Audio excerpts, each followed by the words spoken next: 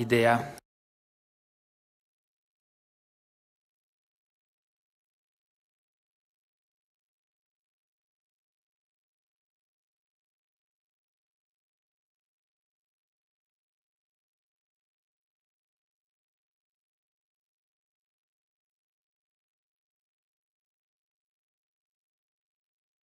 Buonasera a tutti e grazie di essere qua. Movimento 5 Stelle si appresta alla discussione in Commissione degli emendamenti che ha presentato, ma soprattutto si appresta a presentare al Paese una nuova idea di nazione, una nuova idea di Paese che ha comunque dimostrato di eh, portare avanti questa idea di Paese in tutte le leggi di stabilità e leggi di bilancio che abbiamo avuto la possibilità di discutere, quindi in tutte queste cinque leggi di bilancio una idea di visione di paese che è mancata dal, da, parte chi, da, da, parte di chi, governa, di chi sta alla maggioranza,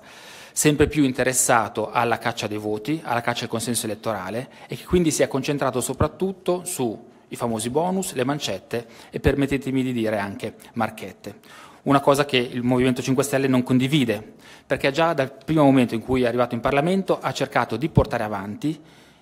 in modo concreto i principi per i quali siamo arrivati in Parlamento. Difatti, i nostri stakeholder principali sono famiglie, imprese e ambiente. Sono questi i nostri, eh, i, nostre, i nostri eh, stakeholder per i quali dobbiamo assolutamente cercare di eh, perseguire i loro benefici. Perché? Famiglie e imprese. Il nostro Paese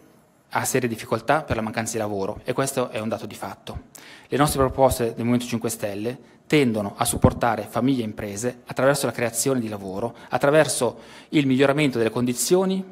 delle, dei soggetti che possono offrire lavoro, senza dimenticare, ma anzi sfruttando la possibilità che ci viene offerta dalla tutela e dal rispetto dell'ambiente. Purtroppo, e lo ricordo, attualmente chi ci governa si è dimenticato di puntare alla tutela dell'ambiente, utilizzando questo come una leva per riuscire a creare sviluppo e lavoro. È una cosa che veramente ci lascia molto, molto perplessi. Partendo dalle famiglie e dalle imprese, un minimo comune multiplo che ci permette di eh, creare strumenti utili per loro è il fisco. Difatti per le imprese soprattutto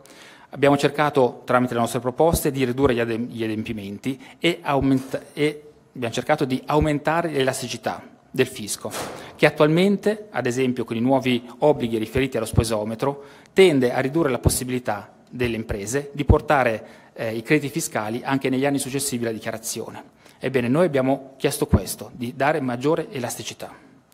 Per quanto riguarda poi i crediti, eh, i crediti riferiti alle detrazioni fiscali riferiti all'edilizia e all'efficientamento energetico, in questo caso riguarda sia le famiglie che le imprese, abbiamo chiesto di poter eh, godere di questi incentivi fiscali anche nei momenti, anche mh, negli anni in cui si trova appunto capienza fiscale, perché sappiamo che attualmente se una famiglia o un'impresa non ha capienza fiscale deve costretta a rinunciare a parte di questi prodotti. Ebbene, di questi crediti fiscali. Andiamo avanti, spesometro annuale. L'abbiamo sempre detto, noi eravamo d'accordo con l'invio telematico dei dati delle fatture e con un'amministrazione fiscale più efficiente. E ci riferiamo alla gestione dell'Agenzia delle Entrate. Però ci siamo visti contrari nel modo in cui questo governo ha voluto attuare, ad esempio, lo spesometro, il nuovo spesometro. Quindi noi chiediamo uno spesometro annuale e anche in questo caso maggiore elasticità per le imprese che si trovano ad a dover appunto eh, utilizzare questo obbligo. Sia velocizzazione dei rimborsi per lo split payment. Abbiamo molte imprese che sono in difficoltà per lo split payment a causa della mancanza di liquidità. Ebbene, è assolutamente indispensabile che le imprese abbiano la possibilità di avere dei eh, rimborsi IVA assolutamente, assolutamente più veloci. Ebbene, Sempre per le famiglie abbiamo pensato ad un aumento della soglia della detrazione per i carichi familiari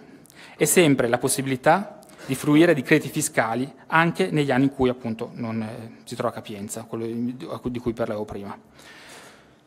L'efficientamento poi del processo di riscossione. Il Movimento 5 Stelle cinque anni che insiste sul fatto di avere cartelle esattoriali più chiare e complete. Dopo cinque anni abbiamo ancora contribuenti in difficoltà nella, nella, lettura delle cartelle perché sono ancora troppo complicate. Quindi dal punto di vista del diritto e della riscossione c'è ancora molto da fare e noi le proposte le abbiamo presentate. Ebbene, ci troviamo di fronte a un governo, a una maggioranza che ha calpestato, secondo noi, in questi cinque anni i diritti dei cittadini, anche attraverso non solo la legge di bilancio, ma attraverso proprio l'azione di governo e della maggioranza. Mi riferisco in pratica ai diverse leggi che sono, a diversi decreti che sono stati fatti, ad esempio partendo da IMU Banca Italia per arrivare fino al decreto sulle banche venete, ebbene abbiamo visto un governo e una maggioranza che sono arrivati a farsi scrivere le norme da una banca privata. Questo non è assolutamente accettabile. È veramente arrivata l'ora di riuscire a creare una legge di stabilità e un'azione di governo, e spero che appunto il Movimento 5 Stelle, tra poco vedrete quale sarà l'azione del, del Movimento 5 Stelle al governo, un'azione improntata al diritto e al rispetto dei diritti dei cittadini. Aggiungo solo due cose sul lato bancario e sul lato della finanza. Abbiamo cercato di fare il possibile per riuscire a restituire ciò che è stato tolto ai risparmiatori truffati dal decreto salvabanche e da tutte le liquidazioni bancarie che sono state effettuate in questi ultimi tempi. E quindi è necessario avere un'unica ciambella di salvataggio per queste persone che sono state private dei loro risparmi. Ebbene, abbiamo pensato a un fondo unico.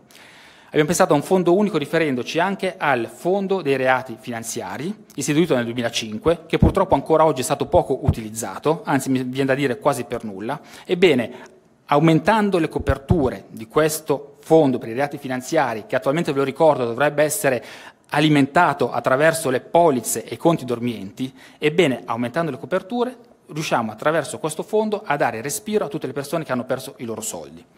Altro argomento spinoso per quanto riguarda il risparmio è il risparmio sociale, quello delle cooperative. Ebbene, anche in questo caso servono norme, sappiamo che sono già intervenuti al Senato per, per eh, migliorare eh, la regolamentazione delle cooperative da questo, punto, da questo punto di vista, purtroppo hanno fallito perché le, gli obblighi per le cooperative sono ancora troppo laschi e mettono ancora in serio pericolo il risparmio delle famiglie. È quindi necessario portare a uno il rapporto tra raccolta e patrimonio delle cooperative, non lasciarlo a tre, e ricordiamo che attualmente la bolla che si sta creando è pari a 14 miliardi di euro. Se altre cooperative dovessero scoppiare, come è successo in Trentino, eh, pardon, in Friuli, vedremo veramente molti risparmiatori, molti risparmiatori per strada come li abbiamo visti per le quattro banche. È necessario quindi intervenire subito per creare delle norme certe di rispetto per i cittadini. Per quanto riguarda sempre il settore bancario, ricordiamo la proposta del collega Alberti riferita alla possibilità di transare il mutuo con la banca, tresare l'importo del mutuo prima di mandarlo in sofferenza, questo è molto importante per riuscire a permettere sia ai debitori attraverso una misura eh, estemporanea e molto circoscritta nel tempo di riuscire a transare, quindi avere un beneficio eh, del, sul, sul lato mutuo, ipotecario, dall'altra parte permetterebbe alle banche di riuscire a alleggerire il loro carico di sofferenze, una cosa assolutamente importante. Io mi fermo qua e cedo la parola ai colleghi. Prego, Soriel. Grazie. Si fa un gran parlare di innovazione e di famiglia, negli ultimi mesi abbiamo sentito anche dai membri del governo un gran parlare di innovazione e di famiglia, poi però se si vanno a vedere i provvedimenti che sono stati fatti a questo punto di vista ci si rende conto che dopo le belle parole diventano in realtà controproducenti sia per le famiglie che per le imprese. E quindi abbiamo con questa legge di bilancio l'opportunità, e lo abbiamo fatto, eh, di, eh, di, parlare veramente sia di innovazione che di famiglie. Nella fattispecie, parlando di innovazione, uno dei punti fondamentali è che questo governo ha pensato all'innovazione come se fosse un, un, giardino solo per le grandi imprese e per i grandi colossi, eh, in realtà escludendo di fatto le piccole e medie imprese e i professionisti da una serie di investimenti che potevano essere molto interessanti per loro. Ed è per questo motivo che noi abbiamo creato una serie di proposte per fare in modo che queste imprese, piccole e medie imprese e professionisti potessero utilizzare quelli che sono i benefici fiscali che possono essere utilizzati per acquisire innovazione tecnologica, per per esempio potersi eh, adoperare nell'avere sistemi hardware e software sia la, per la profilazione che per la misurazione di quello che è il proprio, il proprio business, poter in un qualche modo avvicinarsi ai modelli di vendita che sono tradizionali in store anche per quelli online, quindi direttamente eh, con eh, sistemi e software che, ne, eh, che permettessero questo, eh, questa logistica e eh, che potessero acquisire anche tutta una serie di macchine e macchinari automatiche di vendita, sia di vendita che di produzione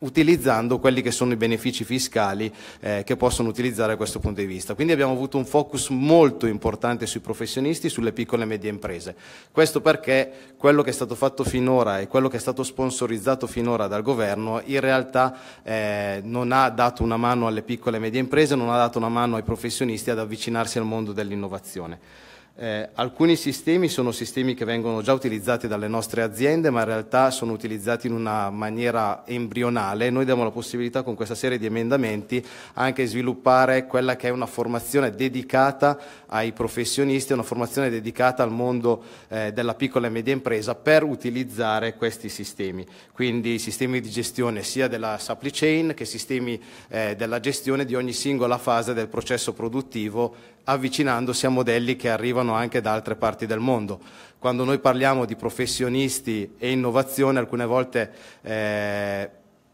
anche membri del governo hanno detto ah ma è impossibile, non esistono dentisti 4.0. Questa è una falsità perché dal resto del mondo ci arrivano degli esempi per cui i professionisti attraverso l'utilizzo di tecnologia e innovazione possono effettivamente creare nuove, eh, dei nuovi modelli di business e il dentista 4.0 già esiste in alcuni paesi del mondo dove per esempio l'assistente alla poltrona è completamente robotizzato e questo perché in quei paesi si è data la possibilità e si è incentivato l'utilizzo anche per i professionisti dell'innovazione. Sempre dal punto di vista delle piccole e medie imprese e dal punto di vista dei, eh, dei, professionisti, abbiamo inserito la categoria dei professionisti e abbiamo ragionato sui professionisti anche per quanto riguarda per esempio un problema annoso che è quello eh, dei sistemi di pagamento. Eh, sui sistemi di pagamento, vi ricordate bene, abbiamo fatto una grandissima battaglia nel momento in cui si è eh, introdotta l'obbligatorietà eh, dei sistemi di pagamento elettronici, eh, però accusando, eh, sono stati posti i costi di questo sistema di pagamento direttamente sui professionisti e sulle piccole e medie imprese, noi con un emendamento diamo la possibilità agli aggregatori di imprese, quindi alle associazioni di imprese, di poter trattare direttamente loro e negoziare direttamente questi costi che se no rimangono in capo totale alla singola impresa, al singolo professionista. Questo è stato un lavoro che abbiamo fatto direttamente con gli aggregatori di imprese, direttamente con le associazioni di imprese per dare loro la forza di poter negoziare delle condizioni contrattuali contrattuali migliori sia dal punto di vista del costo dell'accesso al sistema di pagamento elettronico sia per quanto riguarda poi il, il canone e, la, e il costo di transazione che viene fatto per ogni singola transazione. Naturalmente noi proposte, come diceva anche Daniele, abbiamo dei pacchetti che sono organizzati in pacchetti per il fisco, pacchetti per le imprese, ma anche pacchetti di cui vi parleranno anche gli altri miei colleghi proprio in merito anche alle condizioni e alla qualità della vita dei cittadini. Tornando su quelle che sono poi le, eh, i, eh, i, fondi e l'utilizzo e gli emendamenti che noi abbiamo fatto per quanto riguarda i professionisti, per quanto riguarda la tutela della famiglia e la tutela dei lavoratori, un focus importante l'abbiamo dedicato ai lavoratori in generale. Un punto fondamentale per noi è per esempio la, un emendamento che consente la pensione senza condizione ai quota 41, quindi a tutti coloro che nonostante eh, l'età che hanno, hanno garantito allo Stato 41 anni di contribuzione, hanno lavorato per 41 anni. Questo è un emendamento che permetterebbe a queste persone di andare naturalmente direttamente in pensione. Sempre dal punto di vista dell'età pensionabile, quindi del lavoro, dei lavoratori e, dei, eh, e, di, eh, e di chi ha dato tanto al nostro Paese, noi vogliamo fin da subito bloccare l'adeguamento automatico dell'età pensionabile all'aspettativa di vita per tutti fino al 2022. Questo è un tema molto attuale di cui si è parlato nelle scorse settimane, nel momento in cui è stato adeguato direttamente l'età pensionabile dei eh, lavoratori ed è stata adeguata al rialzo naturalmente, noi blocchiamo direttamente questo, eh, questo adeguamento automatico. Dal punto di vista ancora dei, eh, dell'innovazione, delle famiglie e eh, dell'impresa abbiamo dedicato una serie di emendamenti anche al commercio, abbiamo dedicato una serie di emendamenti al, eh, al, mondo del commercio, naturalmente in parte sono quelli che riguardano direttamente i professionisti, dall'altra parte sono quelli che eh, riguardano i commercianti eh, dal punto di vista proprio della gestione del proprio prodotto, dal punto di vista del, della gestione della vendita e dal punto di vista dell'utilizzo delle tecnologie per favorire il eh, per favorire la loro competitività a livello nazionale.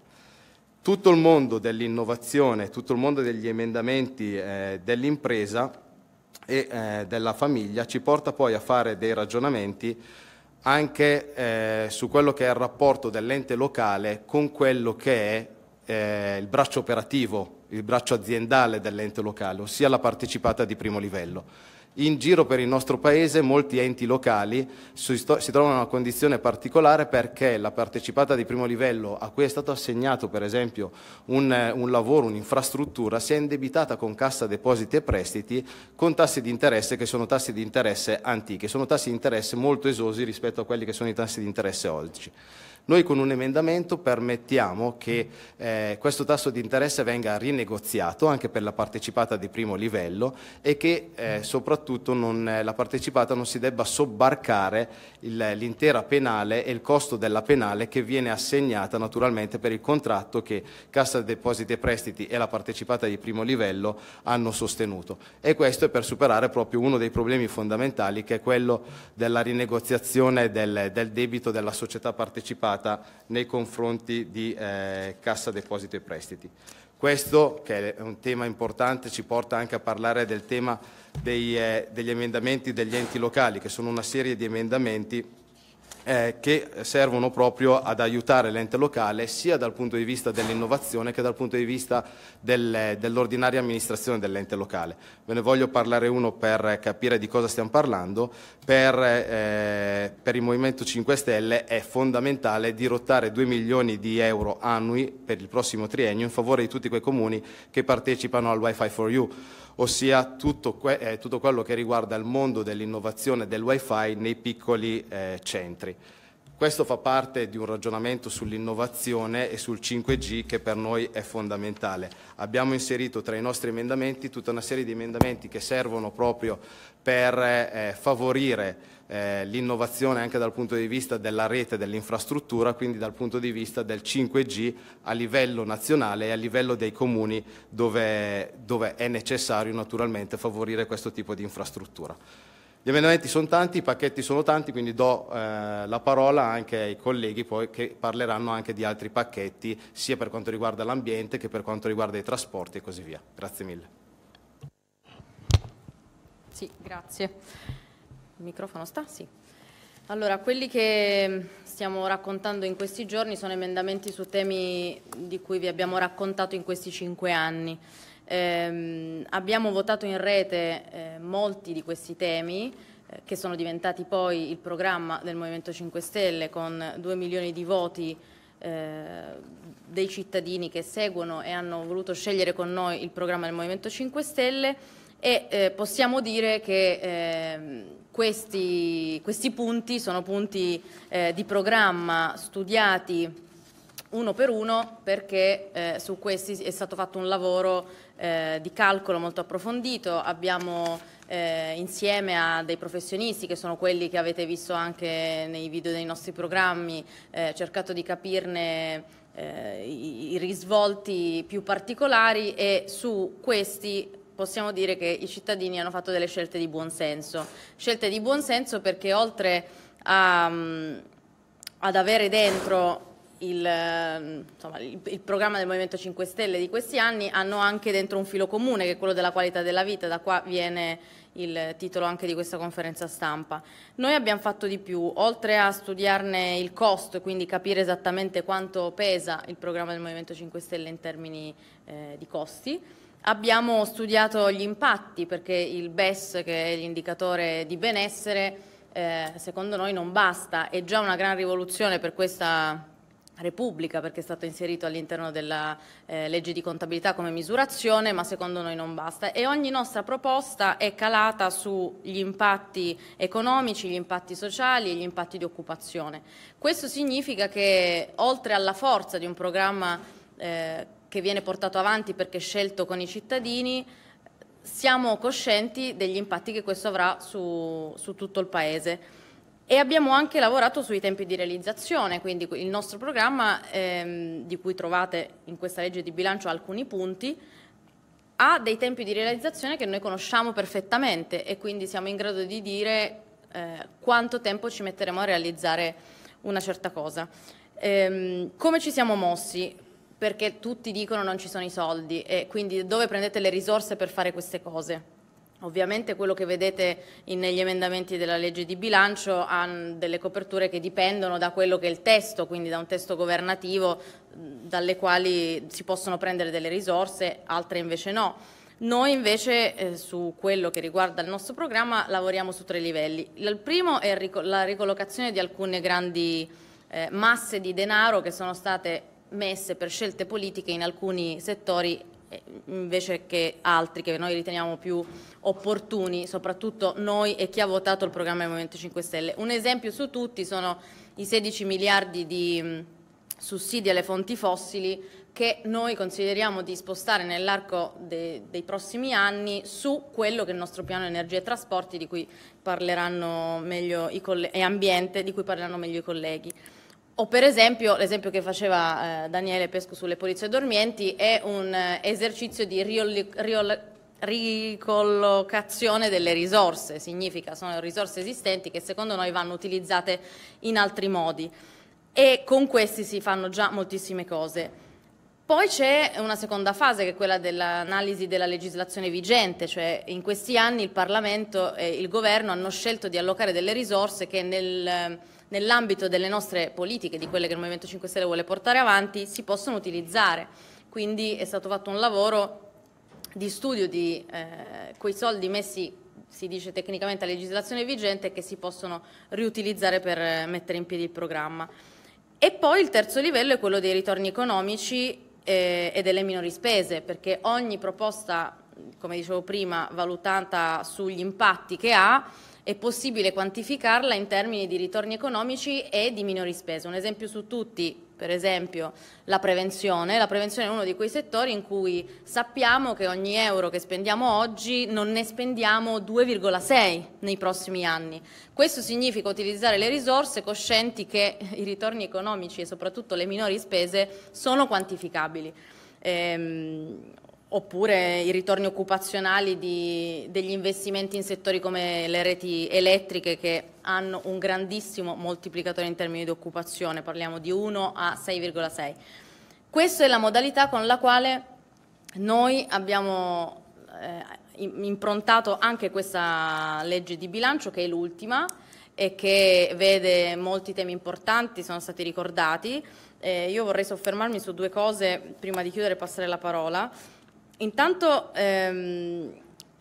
sugli enti locali si è, detto, si è, già detto molto, io vorrei sottolineare il tema dell'internalizzazione, cioè quelle eh, misure che tendono a far reinternalizzare i servizi agli enti, soprattutto quando costano meno, perché questo non è automatico, e, e oggi i comuni hanno bisogno di sostegno da parte dello Stato per poter spendere meglio e spendere bene e ci sono risparmi grandissimi. La seconda è sui servizi essenziali, non possiamo permettere che i comuni non possano garantire servizi essenziali, soprattutto in termini di dipendenti, dipendenti pubblici che non possono svolgere i servizi essenziali. Quindi tu in un comune non riesci ad avere eh, l'insegnante dell'asilo nido perché eh, non ci sono le risorse opportune. Un, un, tema che non abbiamo messo qui per dimenticanza è quello delle sigarette elettroniche, il famoso emendamento Vicari, quella dei Rolex, la senatrice dei Rolex, che nel giorno in cui sui vitalizi viene sbattuta la porta in faccia eh, al Movimento 5 Stelle e ai cittadini tutti che vogliono eh, l'abolizione dei vitalizi, eh, continua a essere un tema per cui i giovani e le, le, attività dei più giovani che in questi anni hanno aperto eh, alcune attività per la vendita delle sigarette elettroniche si trovano questa mannaia ingiustificata. Chiudo dicendo che eh, il ragionamento di, questo, di, queste proposte e di quello che poi è il programma è stata fatta con una coscienza di scelte politiche molto nette eh, che vanno a modificare alcuni cardini oggi eh, del pensiero che è stato portato avanti da questi governi in questi anni e che ragiona per omologhi, cioè noi non vogliamo più una società che si spacca tra chi sta con l'impresa, chi sta col lavoratore, chi sta solo con la famiglia, chi sta solo con un settore. E tutto quello che noi presentiamo ha una visione di eh, omologhi messi insieme perché eh, la potenza di quelli che noi chiamiamo pacchetti è proprio questa, riuscire a mettere insieme parti di paese che sono stati anche per fini elettorali spesso separati e che in realtà hanno molto da dirsi e da, e da cambiarsi, scambiarsi. Salve a tutti, io sono Michele Dell'Orco in Commissione Trasporti. Abbiamo trovato un nuovo, o meglio un recente rapporto dell'Organizzazione Mondiale della Sanità che ci ha palesato nuovamente quello che in realtà sapevamo già, cioè che eh, l'Italia è uno dei paesi a livello di aria più inquinato d'Europa, in particolare all'interno dell'Italia la pianura padana è una di quelle zone che raggiunge record di inquinamento pari a alcune zone della Cina o dell'India. La causa principale di questo inquinamento è sicuramente il riscaldamento, ma anche, soprattutto nei centri urbani, nelle grosse città, nelle città metropolitane, il traffico. Il traffico inteso come auto private, inteso soprattutto come auto a benzina e diesel. Sembra forse una cosa ovvia, ma per i governi che ci sono stati finora pare che non lo sia. Anche per questo il programma nazionale del Movimento 5 Stelle sulle infrastrutture e i trasporti proprio vuole operare anche su questo, come individuando, l'abbiamo già detto nelle scorse settimane, una serie di grandi opere che riteniamo impattanti e inutili e casualmente coincidono con molte autostrade inutili che si vuole fare proprio nella pianura padana, stornare, usare questi soldi e metterli nelle opere che servono, a partire dal Fondo Nazionale per il Trasporto Pubblico Locale, quindi parlo di treni regionali, bus, rinnovo parco mezzi, e incentivazione dei mezzi elettrici a partire dalle nuove immatricolazioni. È un settore, una filiera dove tutti i paesi europei ormai stanno puntando da tempo, tutti i paesi al mondo, addirittura parlano già di guida autonoma, noi invece siamo ancora in un limbo con le auto a diesel e benzina. E faccio anche degli esempi pratici. Eh, in, ehm, in Olanda puntano a smettere la vendita eh, di auto a diesel e benzina entro il 2025. La Germania la Svezia, la Norvegia parlano del 2030. Noi vogliamo semplicemente non inventarci nulla di nuovo, ma copiare le pratiche virtuose degli altri paesi europei. E anche per questo abbiamo presentato un pacchetto emendativo proprio contro lo smog in pianura padana, anche per quanto riguarda il campo dei trasporti, in generale per tutte quelle regioni che ricevono una serie di sforamenti eh, per una serie di giorni o settimane, siamo arrivati anche a record di 30-33 giorni di sforamenti di PM10, nanoparticelle, eccetera. È una situazione che ormai è diventata insostenibile. Tra gli emendamenti di questo pacchetto concentrato per le regioni inquinate pianura padana ci sono dei milioni stanziati per incentivare nelle città il car sharing elettrico, quindi la condivisione delle auto private per però fini naturalmente elettrici. Anche a un altro emendamento per eh, destinare dei milioni per il retrofit dei bus elettrici, quindi la conversione eh, degli autobus da trazione a petrolio all'elettrico, e poi uno degli emendamenti un pochino più corposo è quello che destina 50 milioni all'anno per tre anni, quindi 2018, 19, 20, 150 milioni in tutto agli enti locali per eh, il rinnovo del parco mezzi bus da trazione sempre petrolio all'elettrico. Abbiamo il parco mezzi bus soprattutto in tutta Italia, compresa la pianura padana, che è il più vecchio d'Europa, ci sono mezzi che sono vecchi di ben oltre 30 anni, dobbiamo cambiarli e dobbiamo averli elettrici. È un'emergenza eh, che ormai la chiamiamo ancora emergenza, ma ormai è una stabilità a proposito di, di, di stabilità. Ormai è un, dato, è un, dato, di fatto che si ripete da anni, sindaci costretti a domeniche ecologiche, a varie misure d'emergenza, ma ormai un'emergenza non è più una situazione proprio stabile. Anche per questo c'è lo stesso Luigi Di Maio, ha inviato una lettera le scorse settimane ai quattro presidenti del, delle regioni eh, Piemonte, Lombardia, Veneto ed Emilia-Romagna, per chiedere di intervenire anche presso i propri gruppi parlamentari affinché venisse votato anche eh, questo pacchetto emendativo relativo alla pianura padana. È forse l'ultima occasione che abbiamo in questa legislatura, bisogna sfruttarla. Grazie. Sì, grazie, buonasera. E dal punto di vista ambientale ricordo che l'Italia ha superato i 210 milioni di sanzioni all'Unione Europea per le, quanto riguarda la gestione dei rifiuti. Dall'anno prossimo potrebbe arrivare un miliardo all'anno per le sanzioni legate appunto alla qualità dell'aria, all'assenza di centraline, all'insuramento di ossidi di azoto e polveri sottili. La stima sanitaria è di circa 85 mila decessi all'anno per questi superamenti, stima fatta dall'Agenzia Ambientale Europea, non dall'ultimo degli enti e circa 50 miliardi di euro all'anno di danni economici.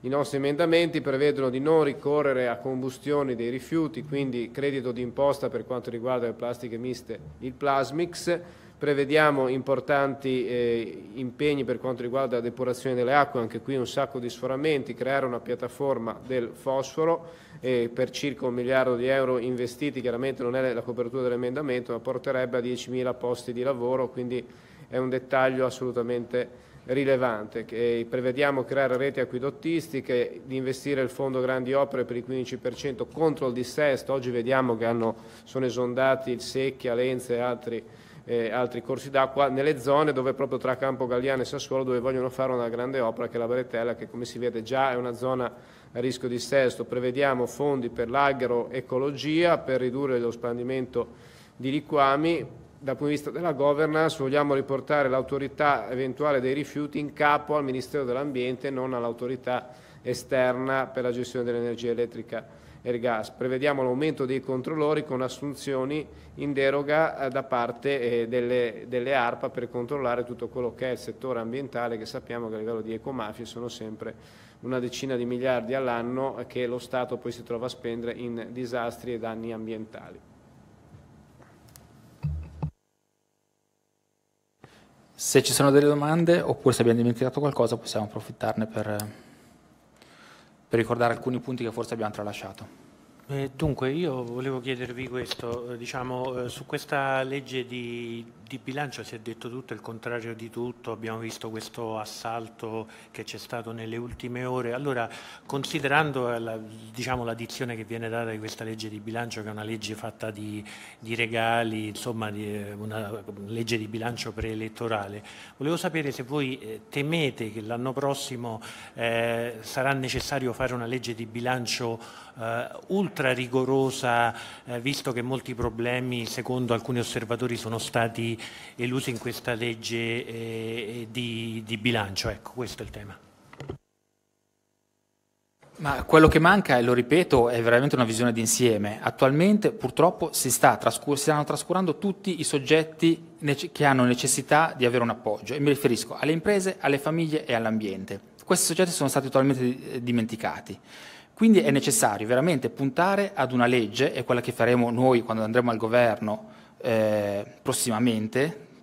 una legge di, di, bilancio che veramente tenda la mano a questi soggetti, ma non per altro, non per eh, eh, ottenere un vantaggio elettorale eh, che è per, diciamo così, perseguito da questi partiti, ma perché è necessario per veramente risollevare il nostro Paese. Per quanto riguarda ehm, invece la possibilità di spesa, io chiedo eh, un approfondimento ai colleghi di bilancio per, per, per i prossimi anni.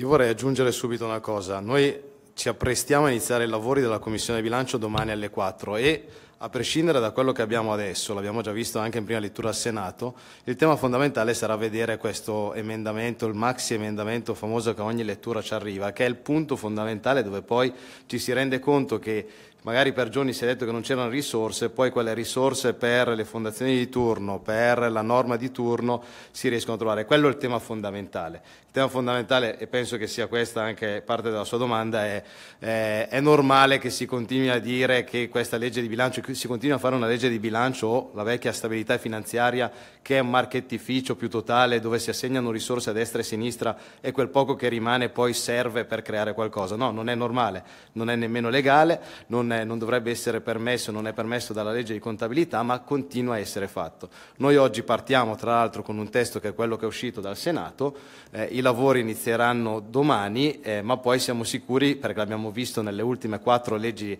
eh, di stabilità, che arriveranno gli emendamenti da parte del relatore, da parte del governo, da parte di membri della maggioranza eh, che avranno accordato con il governo degli emendamenti che saranno quelle sempre solite eh, marchette eh, con cui si utilizzano i fondi dello Stato per garantire a livello microsettoriale o a livello localistico un benestare a qualcuno. Questo non sarà parte delle nostre leggi di bilancio per il semplice motivo che eh, dietro al Movimento 5 Stelle c'è una visione di paese, dietro alla legge di bilancio del Movimento 5 Stelle c'è una visione di paese. Questo ve l'abbiamo già dimostrato nel 2014 quando abbiamo presentato una nostra controlegge di bilancio in toto che avevamo chiamato la finanziaria buona, che aveva sia la parte di proposte sia la parte di quantificazione che di copertura. E il tutto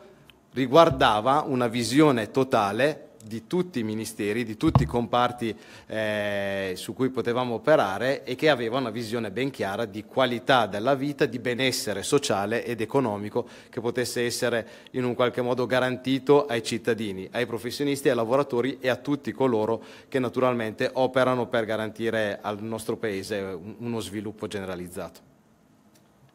Se mi posso permettere, alla, risposta, alla domanda risponderei ci sono dei problemi irrisolti incredibili che saranno quelli che affronterà il prossimo governo. È chiaro che tutta la legislazione sugli enti locali così com'è non funziona è quello che abbiamo visto succedere nei comuni e eh, ciò che hanno fatto male questi governi. c'è il tema del terremoto che non è un tema chiuso e che va, va, affrontato, sarà affrontato dai prossimi governi, c'è il tema della tax expenditure con una marea di eh, detrazioni e deduzioni fiscali che vanno ricollocate e che oggi non rappresentano più una visione d'insieme. Io credo che in questi cinque anni la nostra forza politica ha fatto un'egregia opposizione e che si è reso conto di tutti quei temi che vengono sempre rimandati e in questo momento, proprio perché siamo in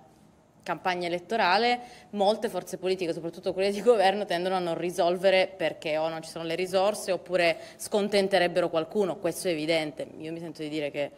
eh, i problemi risolti ce ne sono e saranno affrontati prossimi, dal prossimo governo, mi, mi auguro.